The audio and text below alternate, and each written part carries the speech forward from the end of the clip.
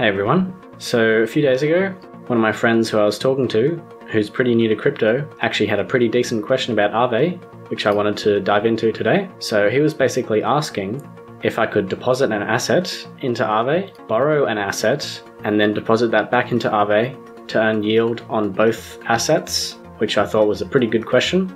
So, first of all, just to clear up, if you do deposit an asset and then borrow an asset, you are still going to earn interest on your original deposit, even if you take out your loan and move it to a different platform or a different blockchain, whatever. Aave is still going to remember that you've got your original deposit and you'll still be earning rewards basically every second. Now, if you're wondering why the APY is so high, that's just because I'm on the Kovan Ethereum testnet, so unfortunately these numbers aren't real. But going over to the Aave markets on Polygon, these numbers are real.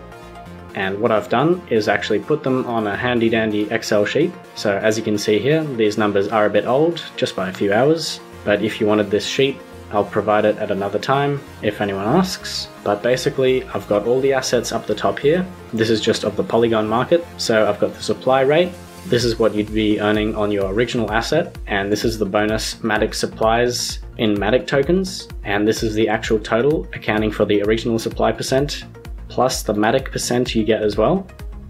And then below here, I've got the amount you'd actually be paying in interest if you took out a loan on one of these assets. But since Aave and Polygon actually have a partnership together to increase liquidity on the Polygon chain, Matic is actually throwing in a bonus of this percent here.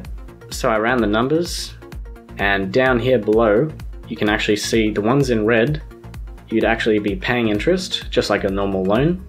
But the ones in green are green because it's a negative interest, meaning the Matic bonus you'd be earning is actually more than you'd be paying for the original interest rate. So, for an example, let's say we deposited Matic because that's got the best supply rate right now. So that'll be about 11%.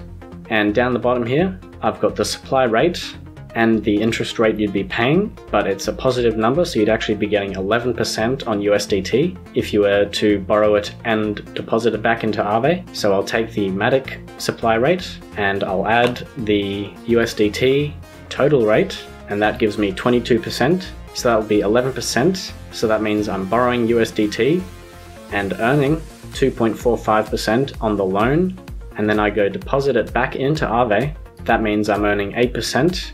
And that's how I get that 11% there. So for an example, let's say I've got a whole lot of wrapped ETH or wrapped Bitcoin. I'll take the wrapped Bitcoin supply rate, which includes the Matic rewards and the regular Aave rewards.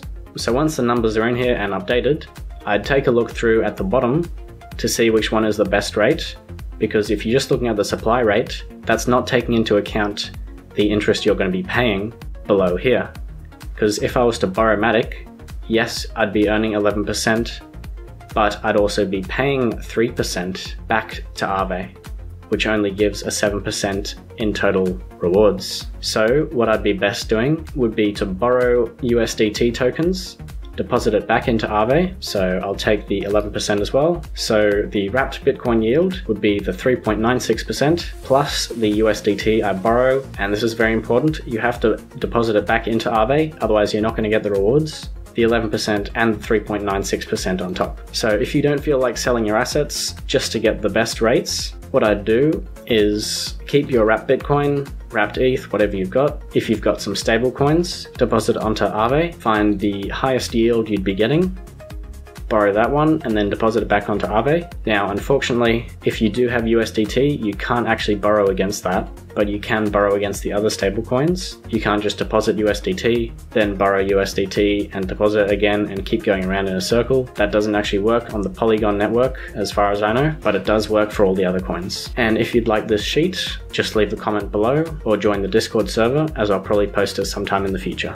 If you like that video, consider leaving a like. If you want to have a chat, why not join my Discord server below. Okay, thanks, bye.